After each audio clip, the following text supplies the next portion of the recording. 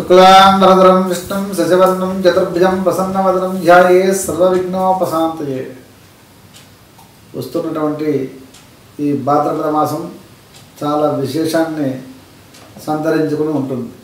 ఈ భాద్రపద శుద్ధ చవితి ఈ యొక్క మహాగణాధిపతి యొక్క అనుగ్రహానికి మనం అనుగ్రహం పొందేటువంటి విశేషమైనటువంటి చతుర్థి.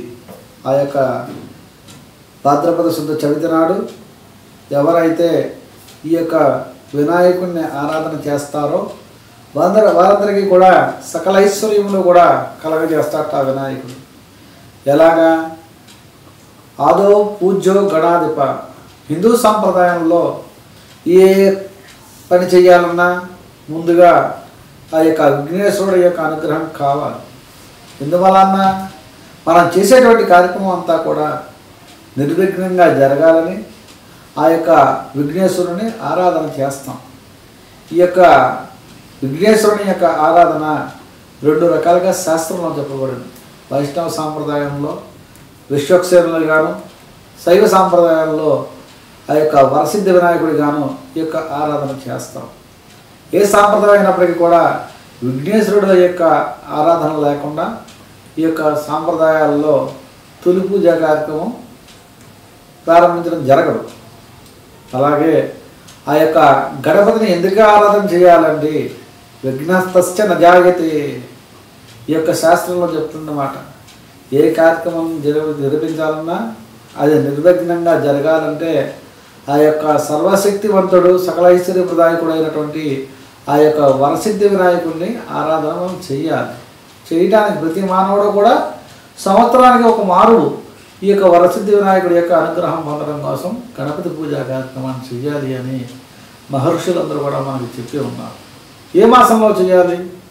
భాద్రపద మాసంలో వచ్చేటువంటి శుద్ధ చవితి నాడు ఎవరైతే ఈ యొక్క వినాయకుడిని ఆరాధన చేస్తారో అలాగా వైష్ణవ సాంప్రదాయంలో విశ్వక్సేనని ఆరాధన చేస్తారో వారందరికీ కూడా కోరుకున్నటువంటి కోరికలన్నీ కూడా తీరుతాయట. ఏ విధంగా చేయాలండి? శ్రావణ మాసం భాద్రపద మాసము.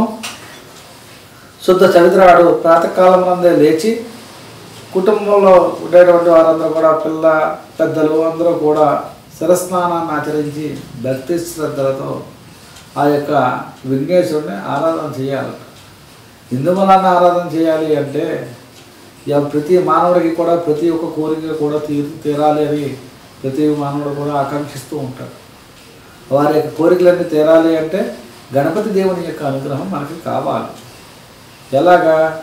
ప్రాతకాలంలో లేచి శిరస్నానం ఆచరించి శుచి వస్త్రములు ధరించి ఆ యొక్క వినాయకుడికి ప్రీతికరంగా ప్రతి ఫలాన్ని కూడా వినాయకుడు ఆరగిస్తాడు అందులో ముఖ్యంగా వినాయకుడికి ఆ యొక్క కాలంలో వచ్చే ఈ భాద్రపద మాసంలో దొరికే ఫలాలు వృక్షముల యొక్క ఆకులు గరికె అలాగే ఈ యొక్క ఏకవింశతి పుష్పాలన్నీ కూడా తీసుకుని వచ్చి ఈ యొక్క గణపతి దేవుడిని భక్తి శ్రద్ధలతో ఆరాధన చేసుకుని ఆ యొక్క నూనె ఉపయోగించకుండా చేసినటువంటి ఆ యొక్క మూలకములు అలాగే కుడుములు ఉండ్రాళ్ళు ఇవన్నీ కూడా వినాయకుడికి నివేదన చేసి ఆ యొక్క వినాయకుడి కథ వృత్తాంతము అంతా కూడా చదువుకుని పెద్దల ద్వారా విని ఆ యొక్క అక్షంతలు శిరస్సును ధరించినట్లయితే మీ యొక్క జీవితంలో నీలాపనలన్నీ కూడా తొలగిపోయి ఆ యొక్క మీ మీద ఉన్న దోషాపవాదములన్నీ కూడా పోయినటువంటి వారే.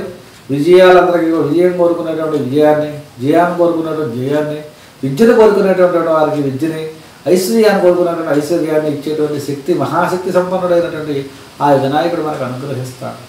ఈ యొక్క గణపతి యొక్క ఆరాధన చేయడం వలన భాద్రపద శుద్ధ చెబుతున్నాడు చాలా విశేషంగా శాస్త్రంలో చెప్పబడింది.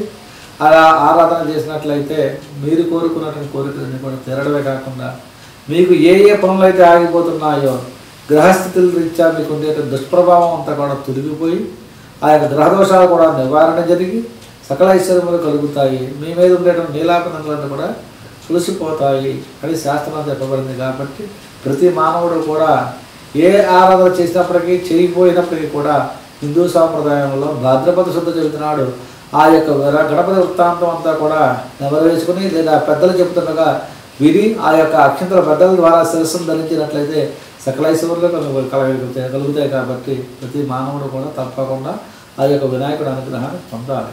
మహాగణాధిపతి అయిన